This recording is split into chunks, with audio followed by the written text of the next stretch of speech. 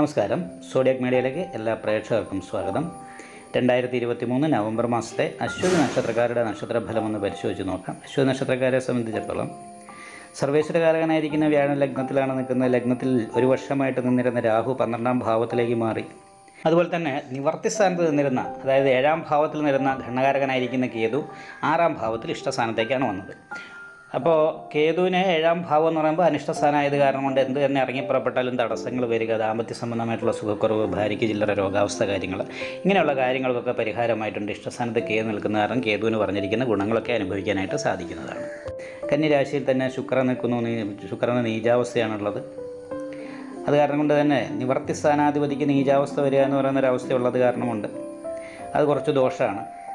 എന്നാൽ ലഗ്നത്തിൽ നിന്നിരുന്ന രാഹു പന്ത്രണ്ടിലേക്ക് മാറിയപ്പോൾ ശാരീരികമായിട്ടുള്ള അസ്വസ്ഥതകളും പ്രതിസന്ധികളൊക്കെ അനുഭവിച്ചിരുന്നവർക്ക് അതിൽ നിന്നൊക്കെ ഒരു മാറ്റവും മുക്തി ഉണ്ടാകാൻ സാധ്യതയുണ്ട്. എന്നാൽ അനാവശ്യമായിട്ട് കുറച്ച് ചിലവ് വർദ്ധിക്കാൻ സാധ്യതയുണ്ട്. കാരണം പന്ത്രണ്ടാം ഭാവാധിപതി ആയിരിക്കുന്ന വ്യാഴം ജന്മരാമ വനേദുഃഖം എന്ന് പറയുന്ന യോഗം ചെയ്താണ് ജന് ജന്മത്തിൽ നിൽക്കുന്നത്. ലഗ്നത്തിൽ നിന്നിരുന്ന രാഹു പന്ത്രണ്ടിലേക്ക് മാറുകയും ചെയ്തു. അപ്പോൾ അത് കാരണം കൊണ്ട് അനാവശ്യമായിട്ടുള്ള ചിലവ് വർദ്ധിക്കാനായിട്ട് സാധ്യതയുണ്ട്. എന്നാൽ വ്യാഴം ഭാഗ്യാധിപതിയാണ്. ഭാഗ്യാദേവിഷ്ട ഭാവേശ്വ പശുഭോ ഭാവപുഷ്ടികൾ എന്ന് പറയുന്ന ഒരു യോഗമുള്ളത് കാരണം കൊണ്ട് നല്ല ഭാഗ്യവർദ്ധനവിന് യോഗമുണ്ട്. പ്രതീക്ഷിതമായിരിക്കുന്ന ഗുണങ്ങളൊക്കെ അനുഭവിക്കാനായിട്ട് അശ്വതി നക്ഷത്രക്കാർക്ക് ഈ മാസത്തിൽ അതുകൊണ്ട് തന്നെ സാധിക്കുന്നതാണ്.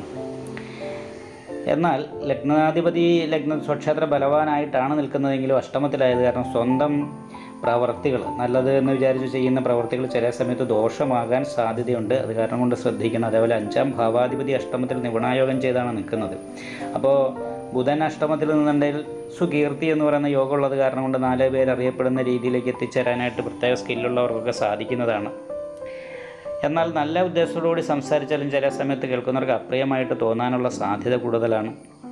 കാരണം അഷ്ടമത്തിലാണ് ആദിത്യനും ബുധനും കൂടി നിപുണായോഗം ചെയ്ത് നിൽക്കുന്നത്. ഇവിടെ അഞ്ചാം ഭാവാധിപതിയാണ് അഷ്ടമത്തിൽ. മാനസികമായിട്ട് കുറച്ച് ടെൻഷൻ അനുഭവിക്കാൻ ഇടവരാനുള്ള സാധ്യതയുണ്ട്.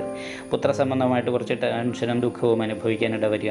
അതുപോലെ തന്നെ മക്കൾ വീട് വിട്ട് മറ്റ് സ്ഥലത്ത് പോകുന്നത് കാരണം കൊണ്ടുള്ള മാനസികമായിട്ടുള്ള ടെൻഷൻ. ഇങ്ങനെ കുറച്ച് പ്രതിസന്ധികളൊക്കെ അനുഭവത്തിലേക്ക് വരാനുള്ള സാധ്യതയുണ്ട്. ശത്രുസ്ഥാനത്ത് ഗണ്ണകാരകനായിരിക്കുന്ന കേതു ശുക്രനോട് യോഗം ചെയ്ത് നിൽക്കുമ്പോൾ ഭൗതികമായിരിക്കുന്ന സുഖങ്ങൾക്കൊക്കെ തടസ്സം വരാനുള്ള സാധ്യതയാണ് കൂടുതലായിട്ടുള്ളത്. അപ്പോൾ മനസ്സിൽ ആഗ്രഹിക്കുന്ന കാര്യങ്ങൾക്ക് അനുകൂലമായിരിക്കുന്ന അല്ലെങ്കിൽ ജൽ- അതല്ലെങ്കിൽ ഭൗതികമായിരിക്കുന്ന സുഖങ്ങൾക്ക് തടസ്സം വരിക എന്ന് പറയുന്നൊരവസ്ഥയാണുള്ളത് കർമാധിപതി സ്വക്ഷേത്ര ബലവാനാണ് സർവാഭിഷ്ട സ്ഥാനത്താണ് നിൽക്കുന്നത്. എന്നാലും ബാധയിൽ നിൽക്കുന്ന കാരണം തൊഴിലുമായിട്ട് ബന്ധപ്പെട്ടിട്ട് ഇടയ്ക്കിടയ്ക്ക് മാനസികമായിട്ട് കുറച്ച് ടെൻഷനും പ്രതിസന്ധികളൊക്കെ അനുഭവിക്കാൻ യോഗമുണ്ട്.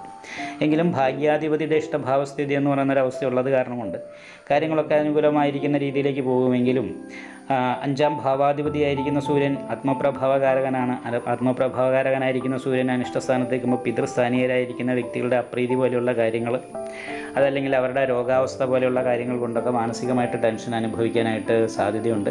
പല കാര്യങ്ങൾക്കും ആത്മവിശ്വാസക്കുറവ് പോലെയുള്ള പ്രശ്നങ്ങൾ കൊണ്ടുള്ള ദുരിതങ്ങൾ അനുഭവിക്കാൻ ഇടവരും. കാരണം വെച്ചാൽ എന്ത് കാര്യത്തിനും കോൺഫിഡൻസ് ഉണ്ടായതോടുകൂടി കാര്യങ്ങൾ ചെയ്യുമ്പോഴാണ് അനുകൂലാവസ്ഥ വരുന്നത്. അപ്പോൾ കോൺഫിഡൻസിന് കുറച്ച് കുറവൊക്കെ വരാനുള്ള സാധ്യതയുണ്ട്. അത് കാരണം കൊണ്ട് തന്നെ ശിവക്ഷേത്രത്തിൽ യഥാശക്തി വഴിപാട് നല്ല പ്രാർത്ഥന മുതലായിട്ടുള്ള കാര്യങ്ങളൊക്കെ വേണം. അതുപോലെ തന്നെ എന്ത് കാര്യങ്ങൾ ചെയ്യുമ്പോഴും ഒരു നാല് പ്രാവശ്യം ചിന്തിച്ചിട്ട് നാലുപേരോട് ചോദിച്ചിട്ടും മാത്രം ചെയ്യാനായിട്ട് ശ്രദ്ധിക്കുക. കാരണം ലഗ്നാധിപതി ബലവാനാണെങ്കിലും അഷ്ടമത്തിൽ നിൽക്കുന്ന കാരണം കൊണ്ട് നല്ല ഉദ്ദേശത്തോടുകൂടി ചെയ്യുന്ന കാര്യങ്ങളും ദോഷമായി വരാനുള്ള സാധ്യത കൂടുതലായത് കാരണം കൊണ്ട് പ്രത്യേകം ശ്രദ്ധിച്ച് മാത്രം കാര്യങ്ങൾ ചെയ്യാനായിട്ട് ശ്രദ്ധിക്കുന്നതാണ് നല്ലത്.